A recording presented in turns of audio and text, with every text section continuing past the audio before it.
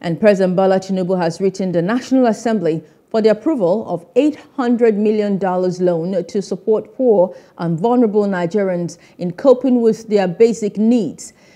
Reading Tinubu's letter during plenary, President of the Senate, Godswill Akpabio, said the loan is for national social safety net window of the federal government. According to the request, the World Bank facility will aid federal government to make unconditional cash transfer of 8,000 naira per month to 12 million naira, 10 million poor and low income households for a period of six months with a multiplier effect on about 60 million individuals. Request for approval of additional financing of the National Social Safety Net Program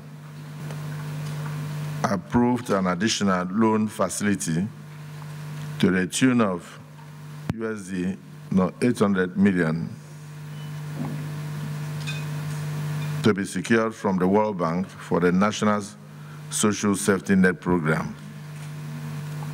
You may also wish to note that the purpose of the facility is to expand coverage of shock responsive safety net support for the poor and vulnerable Nigerians and to help them cope with the cost of meeting basic needs.